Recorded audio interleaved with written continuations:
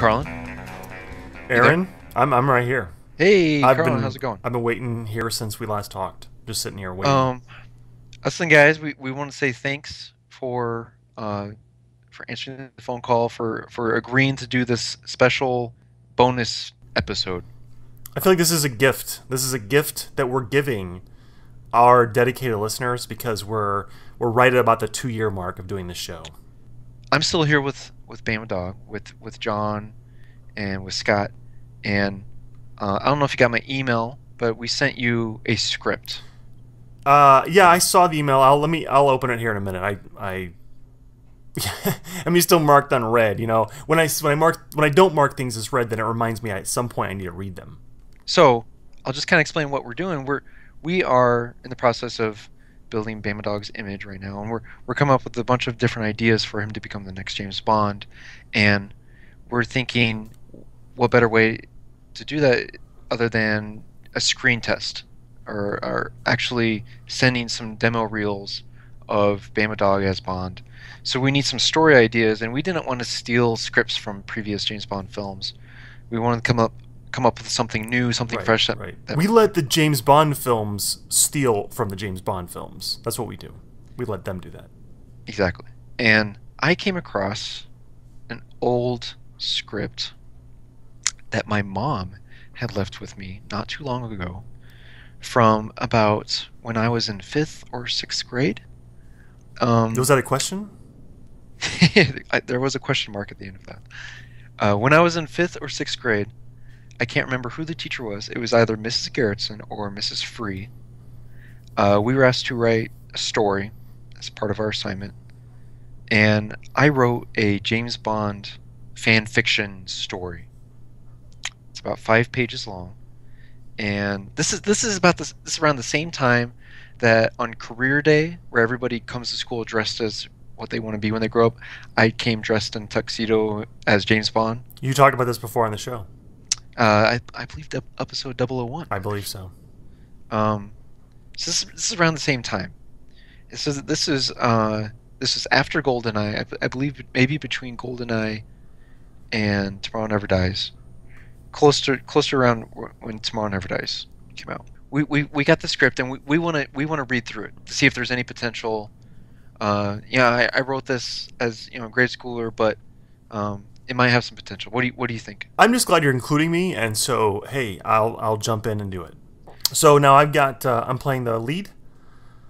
Well, no, no, no. Okay, so in the script, uh, 007 is actually me. Of Uh, course, I- of course. He's not. He's not named James Bond. He's Right. actually named Aaron Nix. Now I presume if you had known me back then, you would have written it about me. That makes sense. Okay, all right, fair enough. That's not weird at all. Uh, but the, the title is 007 Flash, and I don't know why I named it 007 Flash. But I, I, I think there are a lot of different characters in this story. It's about five pages long. I would like if you could play all the different characters so I could focus on being 007. Okay, all right. Are you up to that? I, are, do you have it in front of you now? Are you, are you going to be able Oh, I guess I need to open it. Oh, okay. to give this the authenticity that we desire, Mm, we're going to do this as a Mhm. more of like a, a book on tape. So we've uh, we've hired out somebody to do the narration for us. Oh, So my you've uh, hired me to do the narration. no my my real life colleague John uh, has agreed to do the narration for the story. It's going to be great, and this is going to be uh, we're going to give this the proper treatment. Okay, but before we record, I wanted to give a couple disclaimers. Uh, this is me in fifth or sixth grade in the 90s. Uh, there are a couple jokes in here that are not so politically correct. I make a there's a joke in here about a midget.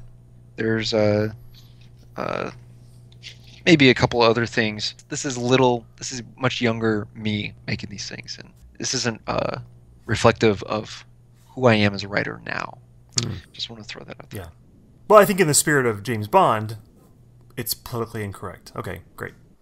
Okay, let's do this, guys. Guys, we're we're about to start. Cue music. Cue music.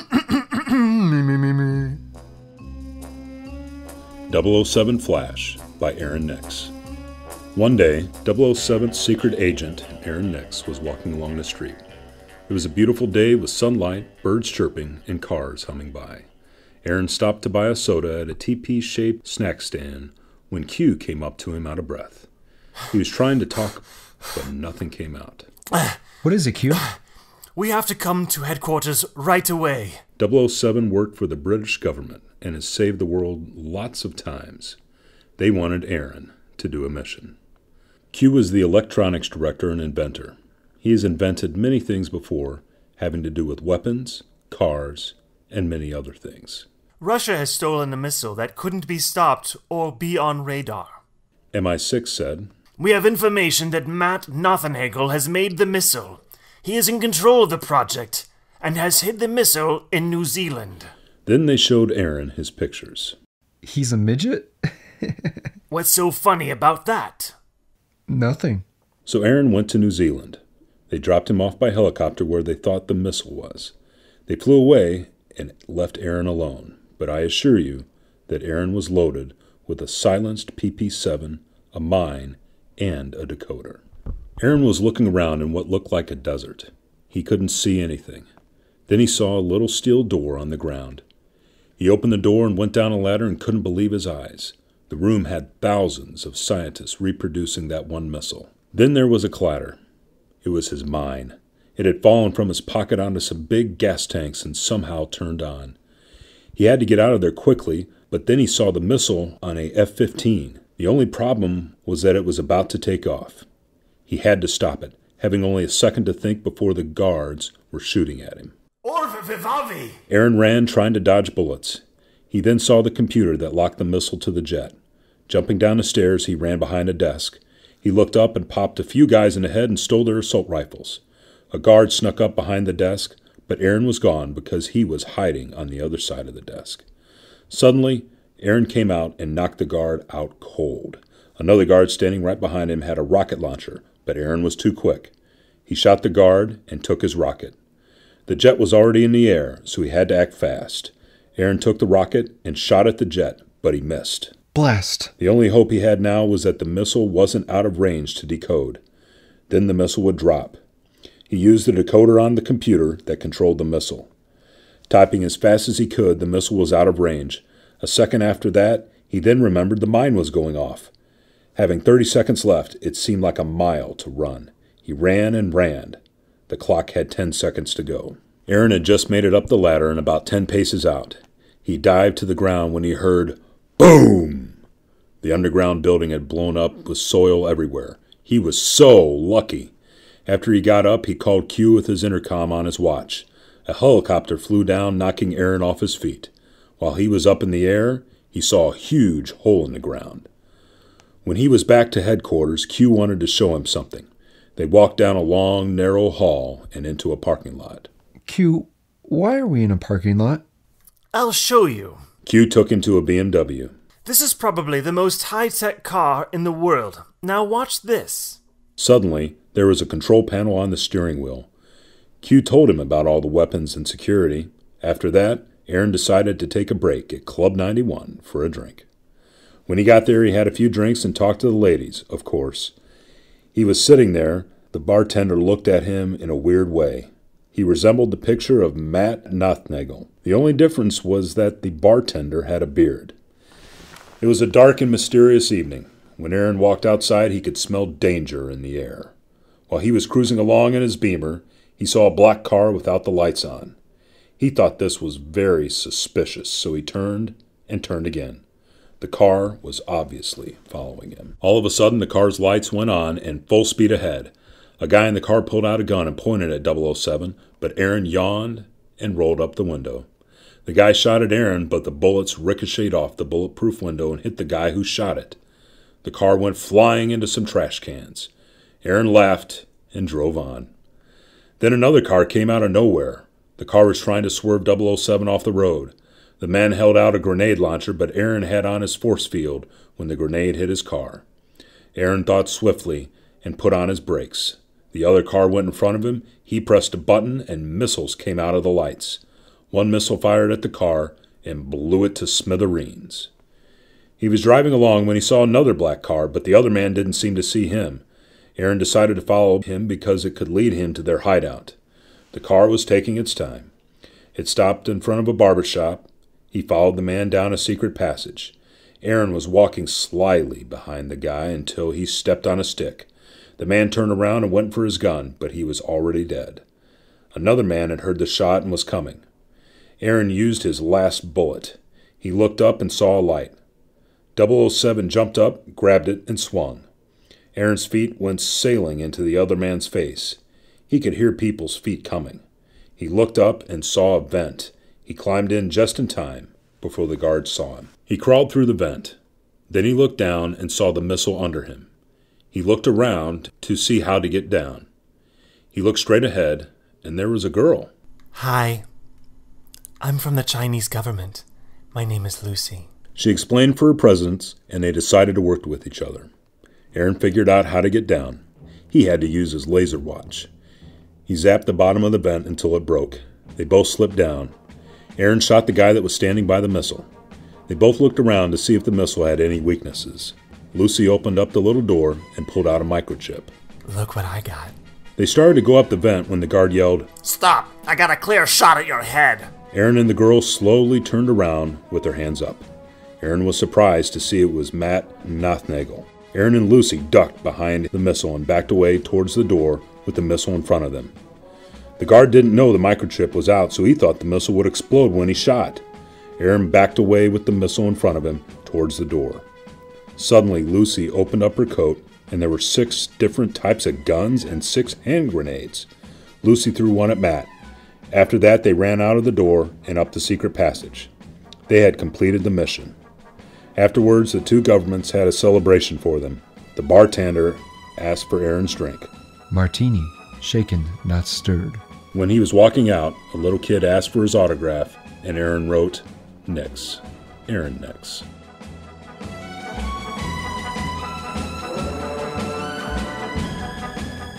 So, uh, well, thank you for doing that, Carlin. I'm glad that you told people that I was doing all the voices because I'm sure that if you hadn't, no one would have known it was me that did them.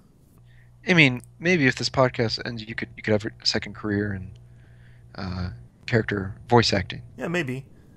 Maybe. So, uh, any any thoughts about this? Um, I have just one thought. Okay. Or Vivavi! or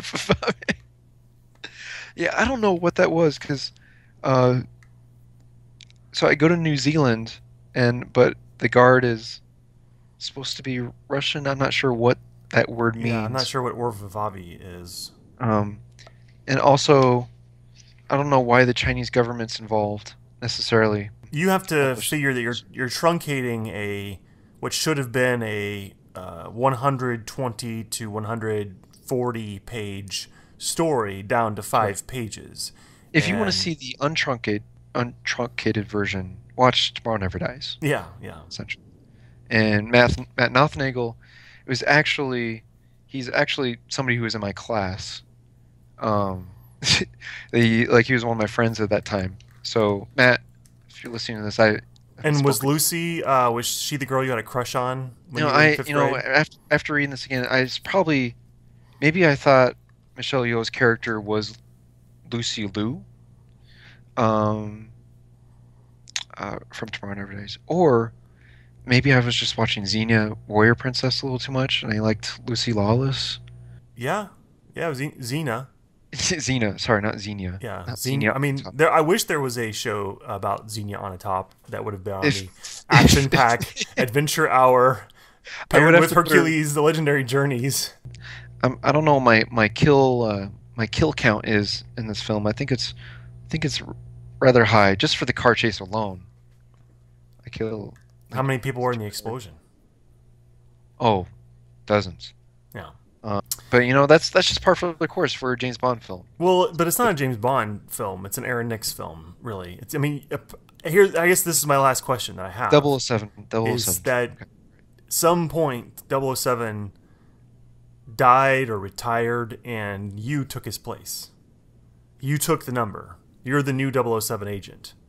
Well, yeah, I mean, we could, we could really get in depth in this, and we've talked about, uh, you know, are all the James Bonds the same, supposed to be the same character? Obviously, I, t- I took it another step and I said, no, I said there is a replacement for James Bond, and that's me. that's why I went as James Bond 007 at, for career day. So I'm assuming I will be the next 007. How, how what kind of what does that do in the uh, Nebraska office? Does that create tension between you and Alabama Dog? I don't think he's read the script yet. Um, we're kind of reading it for him and giving him notes. Uh huh. Um, we might leave that note out, out of there, because he doesn't he doesn't really like to read scripts or read books in general. He likes Well, summaries. that's good because they they did cast that guy recently to be the voice of Bond um, for the books on Oh, tape and David uh, Oyelowo. uh, yeah, something like that. Um, yeah, don't don't tell Bama Dog that, please. Mm, I already tweeted him, but that's okay. So, so 007 Flash, no boat makeout scene. Mm-mm. Unfortunately, I I was not. I mean, that was completely in your control. You could have totally done my that. control. I wish I could go back in time. And it's not even a makeout. There's no boat, no makeout. self. It's a kid There's no asking boat. There's no makeout. for There's, an autograph. still- I, I don't know. That's I, I feel like if a real James Bond film ended that way with James Bond signing his autograph as if people you know he's no longer a secret agent he's a celebrity. Um, well, that's the way it was handled with Moore. That's that's sort of the Roger Moore uh, era. that's the that's the celebrity era Yeah. of James Bond. Okay, so uh, be honest here. Would you put this story? Uh, would you rate it as a as a top tier, middle tier, or bottom tier story? Um. Well, so what I have, what you sent me over, is a uh, like a scan of the original paper that you had handed in, and Yeah. on the front page, uh, Mrs. Garrettson or Mrs. Uh, Hockenpfeffer or whatever her name was. Hockenpfeffer. I wish I had Mrs. Hockenpfeffer. She wrote on the front page, "Great story." I can't argue with Mrs. Frida or uh, Ra- Frida. Rau- Rousing and Bomb or and- whatever her name was. I can't argue with that. Great story, top tier. like it came in like a little booklet. I didn't scan you the actual grade sheet. Uh huh. It's like a little note that was on the front of it with little. Uh, there was like a, a graph for uh, story, for uh, like grammar, and you know things like that. Right. And it had my grade on it, and my grade was A plus. A plus. Um, That's top tier. That's top tier. And that's top tier material right there. Thank you to my teachers. Um, that I can't remember. So I'm so I'm so happy that you also think it's a top tier story. That means a lot to me, and that'll mean a lot to Bama Dog moving forward. Having your blessing on this um, as we as we try to do a screen test with him. Um, we might recast you in all of those characters, but we'll we'll just see. why? Why would you recast me? Well, it's not really up to me. Bama Dog's very particular with with cast with casting choices. Um, we're working on a commercial right now. We'll just have to see. What? Thanks, Carlin, for uh, doing this little bonus Yeah, episode. yeah. Anytime, you know, I probably got to get back to the stuff that I need to do. Uh, so yeah, you guys. Um, Now, I guess I'll see you in a couple weeks as we talk about the spy who loved me. Mm, mm-hmm. Right? Mhm. We're still doing that. Okay. Yeah, Uh huh. absolutely. Spy Who Loved Me. That's the next episode. I will talk to you in a few weeks. Okay. All right. Bye. Bye.